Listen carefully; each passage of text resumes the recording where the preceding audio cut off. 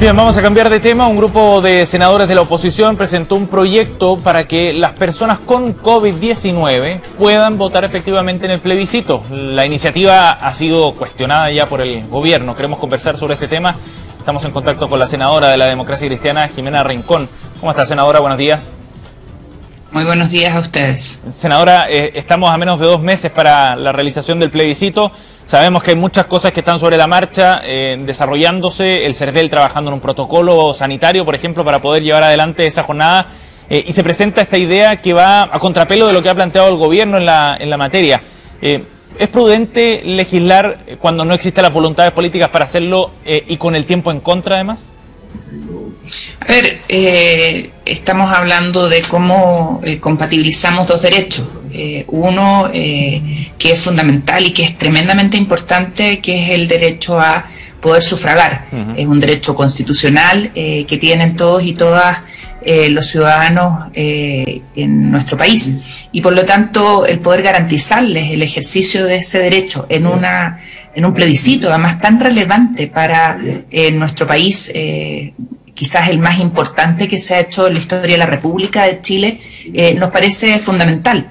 Y cuando se señala que las personas que eh, tienen un eh, PCR positivo, que están con COVID, o aquellas que han estado en contacto con esas personas. No van a poder sufragar eh, por un tema eh, que tiene que ver con la manera en, de hacerlo o cómo concurrir eh, al acto para sufragar, nos parece que es preocupante porque obviamente yo tengo que garantizar la salud de la ciudadanía, pero también tengo que garantizar el ejercicio de este derecho que es importante. Y nosotros lo que hemos planteado es que se haga a través de papeleta, que se envíe eh, con anterioridad a, los, a estos electores que además van a estar identificados, no es una gran cantidad de personas, y que puedan ser eh, enviados a...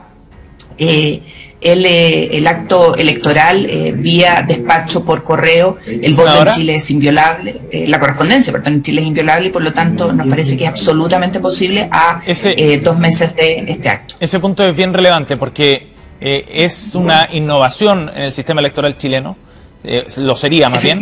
Y, y, en ese sentido, la pregunta es si es, vale la pena correr ese riesgo en una instancia eh, tan importante como usted lo decía, probablemente el acto electoral más relevante de los últimos 30 años en nuestro país. Entonces, es un riesgo importante que puede eh, abrir espacio a dudas, a interpretaciones de, mala fe también respecto a cómo se desarrolle una instancia que, como decía usted, es sería inédita, digamos, la de votación a distancia.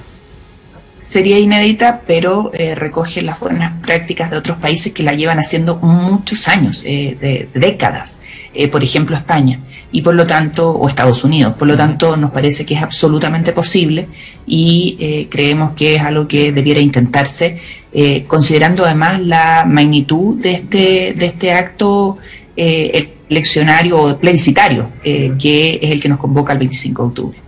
Ahora, en otros procesos electorales, senadora, personas que están enfermas, que están postradas quizás, eh, una mujer que acaba de dar a luz, en fin, se pierden los procesos electorales por las circunstancias específicas e individuales de salud.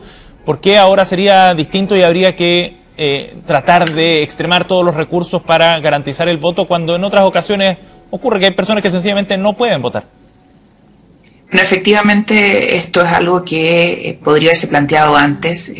la magnitud de la decisión nos parece que debiera convocarnos a revisar esta situación eh, que además si se revisa puede ser instalada para eh, de una manera permanente para eh, el resto de los actos eleccionarios en nuestro país y permitiría que personas como las que tú señalan, que con anterioridad en otros actos eleccionarios no han podido votar, de ahora en adelante sí puedan hacerlo. Mm. Yo creo que eh, tenemos que eh, modernizarnos eh, no solo desde el punto de vista práctico, sino que también desde el punto de vista del espíritu y de las convicciones. Y creo que esto es algo que debiéramos haber revisado hace mucho tiempo y por lo tanto esta es una buena oportunidad para hacerlo. ¿Es una buena oportunidad realmente, senadora? Se lo pregunto por los tiempos, fundamentalmente. de hecho, ayer el ministro Monkever decía que falta muy poco tiempo y los riesgos son altos. Yo creo que no, no, los riesgos no existen eh, si consideramos la seriedad de las instituciones chilenas, si pensamos que la inviolabilidad de la correspondencia es algo que existe hace mucho tiempo, que tiene sanciones además, y si consideramos que no estamos hablando de un gran universo, eh, en este caso estamos hablando de que alrededor de 15.000 personas se mantienen activas con el COVID, por lo tanto sería posible de implementar. Eh, precisamente por el, por el número de personas que están eh, involucradas o que se verían eventualmente afectadas, senadora, ¿vale la pena eh, el esfuerzo, considerando, por ejemplo, que hoy día son 15.000 casos activos aproximadamente los que hay en Chile? De esos no todos son mayores de edad, por lo tanto no todos votarían. Eh, por eso la pregunta inversa, digamos. Sí, yo creo que vale la pena si consideramos la importancia de este, de este acto plebiscitario y eh, lo importante que es para el destino de nuestro país. ¿Cómo van a convencer al gobierno, senadora? Con, con diálogo y con argumentos. Eh, y esperamos poder, obviamente, eh, legislar en esta materia. Ahora se requiere, estamos hablando de una reforma constitucional y por lo tanto requiere una mayoría no menor. y aquí no se trata ya de convencer al gobierno, porque esto está en sede legislativa y tenemos que convencer a nuestros colegas de eh, avanzar en esta iniciativa. Pero se entiende que es fundamental que el gobierno esté de acuerdo con la idea para, para poder implementarla exitosamente, ¿no? Efectivamente, pero para eso existen los argumentos y el diálogo. Yo soy una convencida de que conversando y con buenos argumentos podemos eh, llegar a buen puerto y espero que eso se dé en el Parlamento. Eh, senadora, hay otro tema del que me gustaría conversar con usted y tiene que ver con lo que está ocurriendo con los camioneros en nuestro país. Usted representa la región del Maule, zona también de, intensa actividad agrícola, que depende mucho precisamente del transporte terrestre. Eh, y me gustaría preguntarle sobre el momento en el que está precisamente esta paralización. Se cumple casi una semana, las negociaciones del gobierno y los camioneros continúan, pero todavía no llegan a buen puerto y ya se producen problemas de abastecimiento, lo ha reconocido el propio gobierno en algunas regiones del sur del país. Eh, ¿Qué le parece a usted el momento que está la paralización?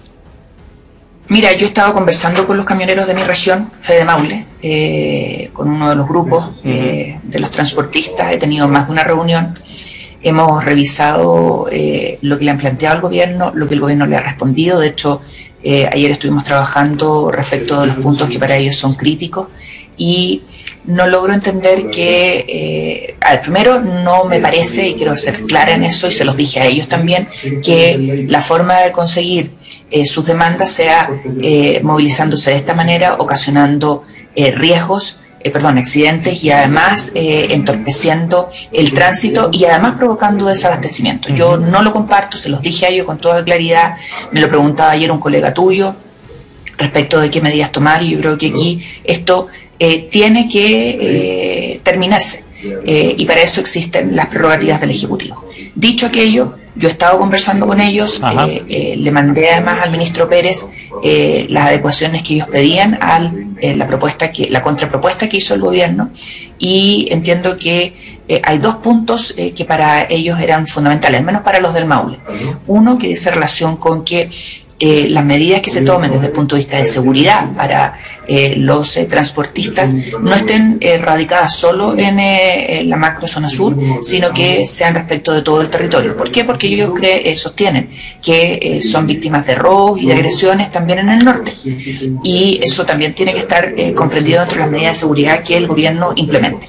Y el segundo tema que para ellos es relevante, y, y, entiendo que no ha habido acercamientos, por lo menos hasta anoche y hoy día en la mañana no tuve reporte, en esa materia. Y el segundo tema que también para ellos es relevante es el tema de eh, cómo eh, tener cobertura desde el punto de vista de los seguros eh, y seguros y accidentes en la legislación no solamente para los actos terroristas, sino que también para las agresiones que no son calificadas de terroristas. Y ahí lo que yo señalé es que por qué no se estudiaba la cobertura dentro de la ley de accidentes del trabajo y enfermedades profesionales. Eh, entiendo que el gobierno no ha querido revisar aquello y ahí está eh, otro, otro tema de eh, tope en las conversaciones que han tenido. Sí, pareciera que son esos los temas que están pendientes para que se pueda llegar a un acuerdo que se ha dilatado mucho más de lo que todos esperaban. Demasiado y con el riesgo, exacto, y además con el riesgo y el desabastecimiento de la ciudadanía, lo que me parece absolutamente condenable. Exacto. Senadora Rincón, gracias por conversar con nosotros esta mañana, muy amable. Gracias a ustedes, muy buenos días.